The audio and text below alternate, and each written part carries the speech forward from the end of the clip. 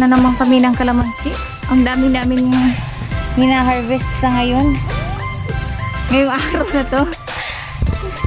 Ayan na. Oh, hinihingal ako. Ano ba to?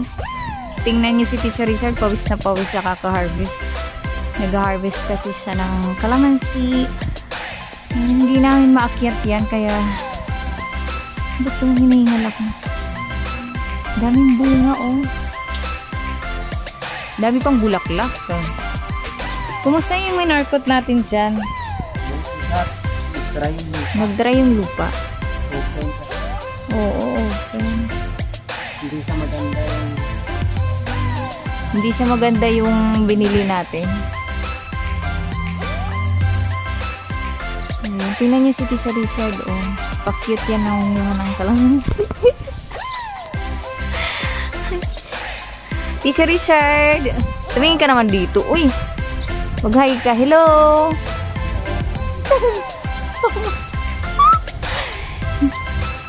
Yan, gumagamit siya ng ladder. Ang Teacher Viola, mag-hi ka naman. Okay, natingnan si Sir Viola. Hello po. Ganyan ang itsura ng garden namin. Ano ba yan? Ay, ang taba ng kalabasa.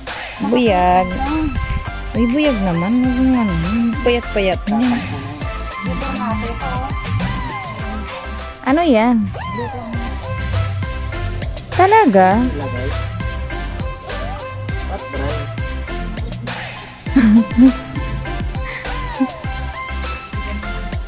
Ayun yung anong palaya, namumulaklak na.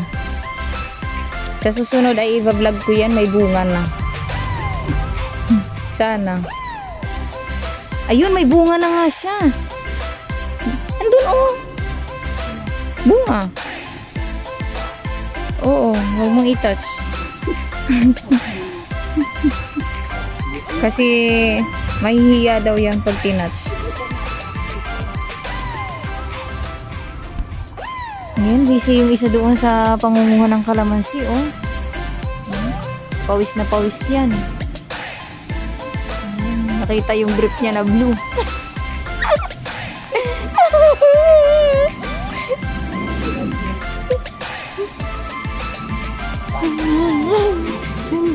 Nakapanty pala siya. joke lang. Joke, joke, joke. Guys, mayroong eroplano, oh.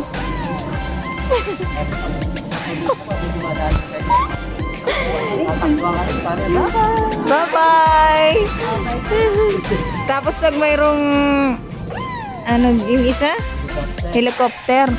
Naku, maingay. Natatakot kami kasi may sundalo.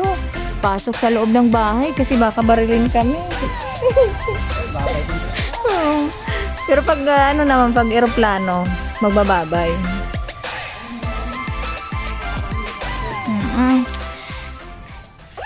Kasi naman yung mga helicopter noon nasa, alam mo yung sobrang baba. Tapos ang ingay-ingay. Hindi ka ba matakot, bata ka? Sir Richard, okay ka lang dyan? You need help? Aakyat dyan si Teacher Viola kung gusto mo. Oh, wag mong, wag mong i-touch. Para lagi yung mga bulaklak. Yun lang. Ang dami-daming bulaklak, oh. Wow. O yung papaya, Teacher Viola, ang papaya mo, oh. Kumusta na pala yung papa doon, yung papaya doon sa bahay? May bunga na? Ay, taray. Ha, saan na siya? Ay, lumaki ang bunga niya. Pineste talaga siya. Sige, sige, sige.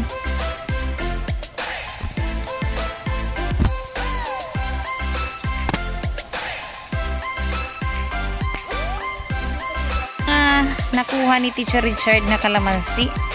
Ayan, pinagpatong-patong na lang namin kasi wala namang paglagyan na iba. So, ayan, titingnan nyo, ang daming hinog. Hmm? Sarap.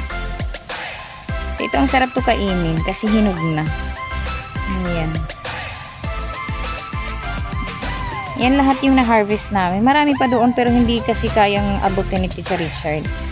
So, ayan na lang muna. Hinayaan na lang namin yung nasa taas. Ang mahal-mahal. Ang mahal-mahal pa naman ng kalamansi. So, ayan guys. Ang kalamansi namin. Hinalo-halong lang dyan. Nandyan pa yung talong. Nandyan yung sita. Thank you for watching guys. Please like, share, and subscribe. Thank you so much.